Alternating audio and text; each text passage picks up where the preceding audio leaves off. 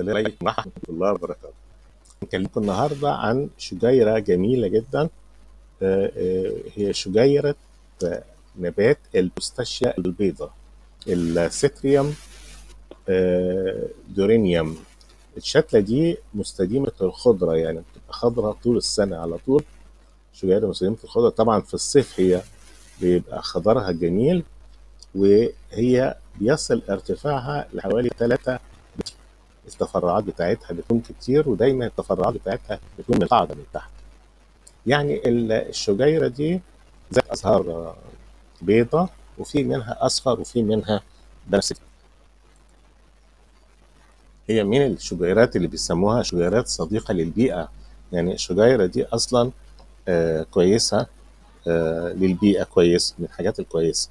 والشجيرة ب- ممكن أعمل منها أسوار ممكن أعمل منها أشكال في الجنينة عندي. آه، ممكن أخلي السور بتاع الجنينة عندي كله من الشجيرة ديت. بس طبعا بيبقى محتاج تقييم علشان أظبط السور. الميزة فيها إنها آه، بتبقى ليها أزهارها ليها ريحة فبتعمل في المنطقة ريحة جميلة كويسة طبعا الأسياجة الأسياجة كتير قوي اللي إحنا قلنا منها آه، الجهنمية سياج جميل بس بيزهر بيعمل أزهار أحمر وأصفر وأبيض أزهارها جميلة الجهنمية وفي أسياجة كتيرة في ياسمين زفر بس مش آه، آه، مش بيطلع زهرة زي الزهرة ديت. أزهار ياسمين زفر ملهاش حلوة. آه، في أسياجة كتير الديجونيا بس مش خالص الديجونيا وبتبقى عايزة أرض كويسة. فدي من الشجيرات دي الشجيرة دي من الشجيرات الجميلة اللي سهل التكاثر بتاعتها. وإن إحنا نعمل لها إكسار بسهولة.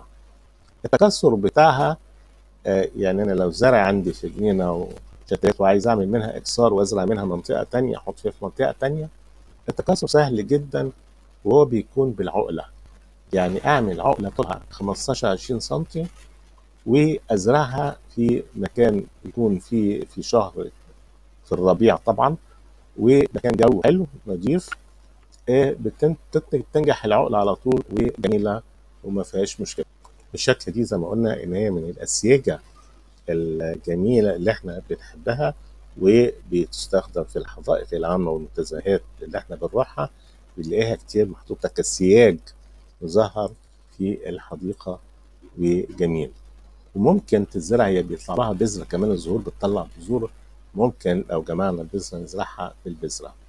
الري بتاعها أنا مش ما عنديش مشكلة في الري بتاعها آه، مش بتحتاج ري غزير بس كمان ما أقدرش آه، أخلي الأرض عندي تنشف.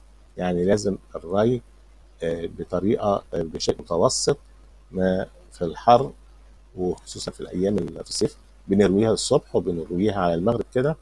الأفضل دلوقتي لل- للري علشان ما ينشفش النبات مني. آه، بالنسبة للتسميد مش محتاجة تسميد كتير. لو أنا سمدتها مرة كل ثلاث شهور أربع شهور إن بي كي سماد متعادل يكون كويس جدا. آه، الجو بنزرعها في الصيف يعني يفضل إن هي تتزرع آه، كأسيجة في الصيف علشان النبات يقوى. وأهم حاجة إن أنا ما أعرضهاش للرياح جامدة ولا حر جامد. يعني الحر والرياح الجامدة ديت ما تخليش الشتله مواجهة لها مباشرة. آه، وإن شاء الله تكونوا استفدتوا من الموضوع ده. والسلام عليكم ورحمة الله وبركاته.